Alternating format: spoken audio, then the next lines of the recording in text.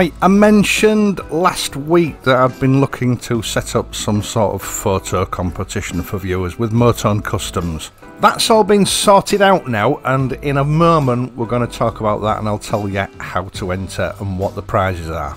But first of all, I thought we would just touch on something which I personally think is quite important, something that will help the world out with the current situation. Now, we all think of the internet as being this huge electronic resource that has infinite capacity. Something that can cope with whatever the world throws at it. But actually, it's not. It is a constantly growing entity, but then the use of it is constantly growing as well. And as we all know, during normal times, it can be a little bit awkward and sluggish at times. Now, you may or may not have noticed that over the last few weeks the internet has got a little bit buggy and slowed down a bit. I certainly have. Both mobile internet and landline based broadband. And the reason for that is that over the last few weeks, worldwide, a quarter or a half the population are no longer at work. And this means that the World Wide Web is getting an absolute hammering. And it's currently running beyond its normal expected capacity. I don't think there's been an awful lot of coverage on this yet, but mobile networks and broadband networks are getting worried. A lot of usage caps have been taken off by various companies because people are having to work from home, which means they're using additional broadband and mobile networks. In order to ensure that each and every country can continue to run its economy and its commerce to as close to normal as possible. And of course, those of us who can't work, who can't go out, are using more internet than we've ever done before.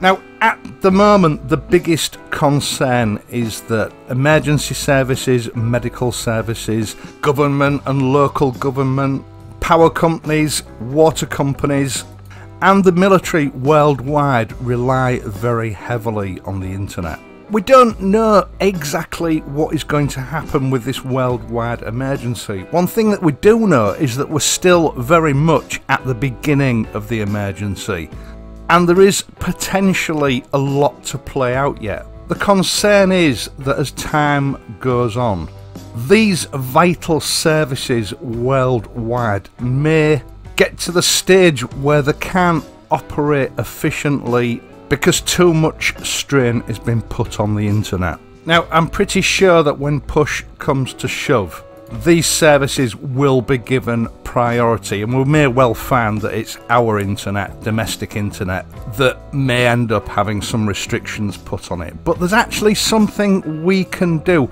both to prevent that and to help out these vital services worldwide and it's something that is really easy and something that we're probably not even going to notice. The truth is, normal terrestrial network TV worldwide has pretty much had its day. We've all got used to on demand entertainment, and to that end, nearly all the entertainment that we watch is online.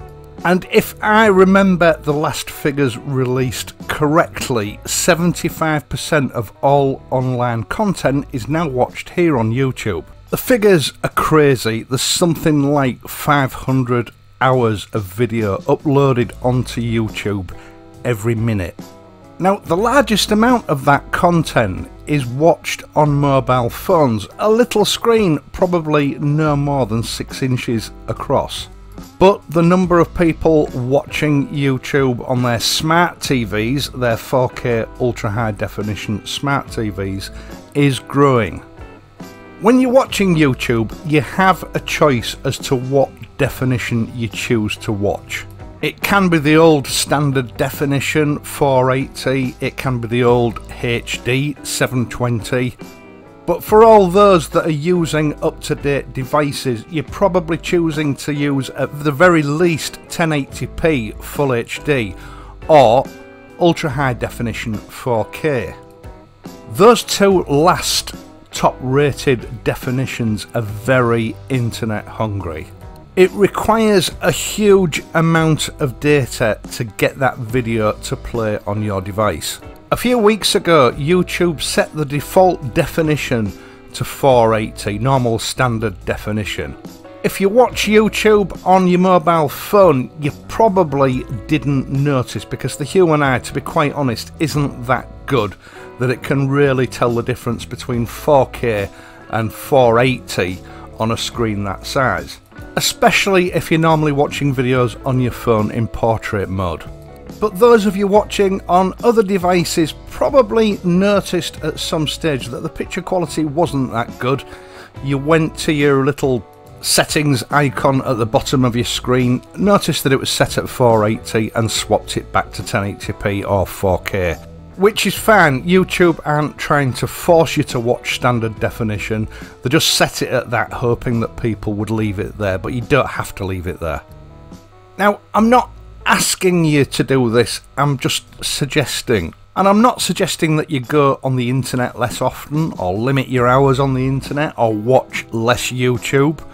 What I'm suggesting is that we can all help our countries out, our emergency services, our medical services. If we just go to the settings icon at the bottom of our screens and turn down the definition that we're watching our videos in.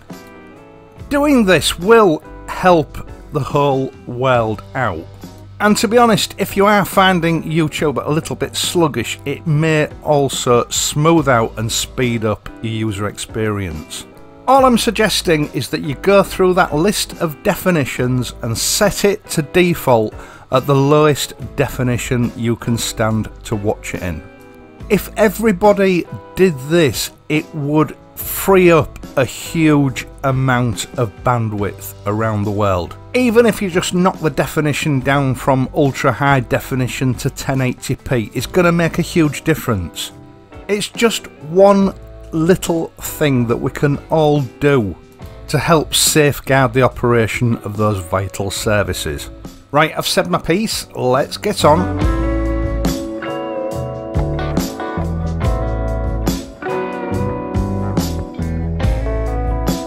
Right, this Rule Britannia promotion that Motone have been having to help everyone out during this current situation, we thought that it might be nice to do something to sort of pull together a whole sort of community spirit. It's all very well reducing the price of custom parts so that people can afford to have some quality time in the garage with their motorcycle mistresses. But in the greater scheme of things, for the moment, our mistresses are hidden away in our garages and no one can see them. To that end, starting from today, Motone Customs is running a motorcycle photograph competition. An opportunity for you to publicly show off your steed, for the world to have a look at your motorcycles and see what you're doing with them, and in return, Motone Customs have pledged to judge the best photograph each month and give the winner a goodie bag containing some Motone merchandise. Now, I'm not entirely sure what Motone are going to be putting in that goodie bag as it stands, but it will be a selection from their merchandising range. Sam's a pretty generous guy and I have faith that it will be well worth you just sending a few snaps of your bike into Motone's FB page for a chance of getting some free stuff. Now, each month for as long as Motone are running this, he will be selecting just one winner from all those photographs that have been sent through the previous month and posted onto Motone's Facebook page. Now, it doesn't matter what motorcycle you ride, whether it be a Royal Enfield, a Triumph, a Harley Davidson, or a BMW, as long as you have at least one Motone Customs accessory fitted and it's clearly visible in the photograph. Now, we do appreciate that your photographic opportunities under the current situation are going to be a bit limited. And what we don't want is for people to go riding 50 or 60 miles to the nearest beauty spot to get one of those knockout photographs. So, although artistic composition will be taken into account, we ask that you only send in photographs of your bike photographed on your drive, in your garage, in your garden, or if you like, even in your living room or kitchen.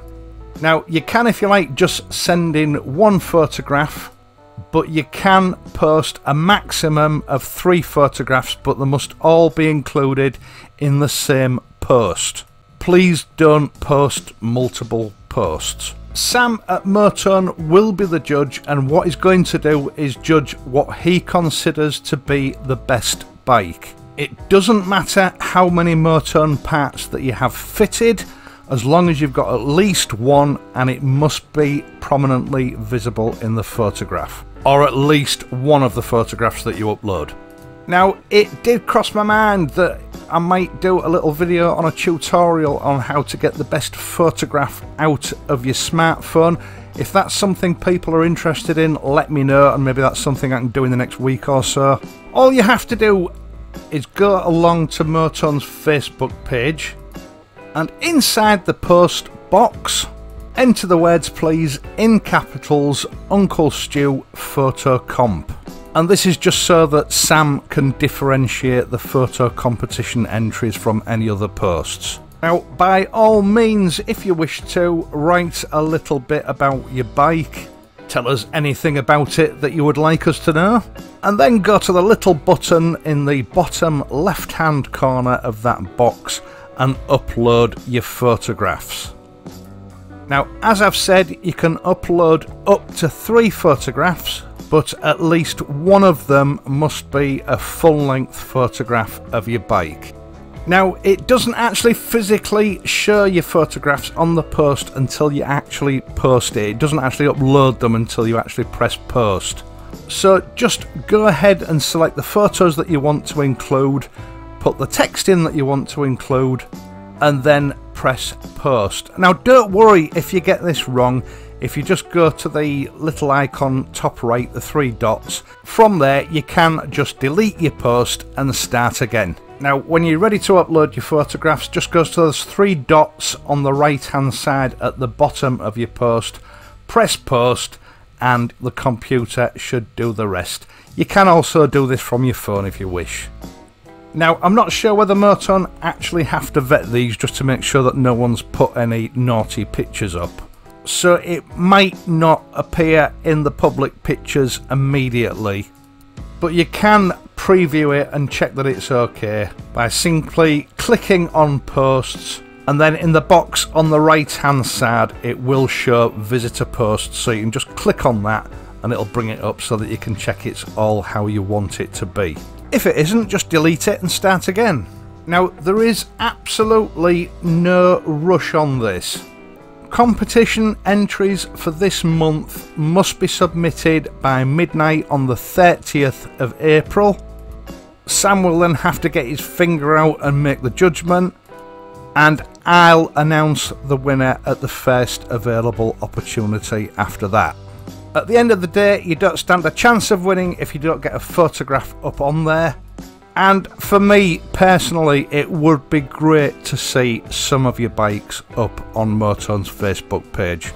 I can't wait to see them. Now, don't forget there's still a 15% off all Motone accessories until the end of these troubles that we're going through, or at least for as long as Motone can stand to do it and I will leave the password or passcode for you to obtain that discount in the video description down below. I'll also leave a link to Motone's Facebook page for your convenience. At the end of the day, this is something that you can easily do from home and it's not going to cost you a penny. So get out there and get snapping. Now, that's it for this week. I will, of course, be back next week. Thank you so much for taking the time to watch this video and helping to support this channel. I do sincerely hope that you've enjoyed this video and found it useful. If you have, please leave a like and subscribe to the channel. If you do subscribe, don't forget to hit the notification bell so that you can be updated every time I upload a new video. Everybody stay safe. If you have to ride, ride carefully and I'll see you next week.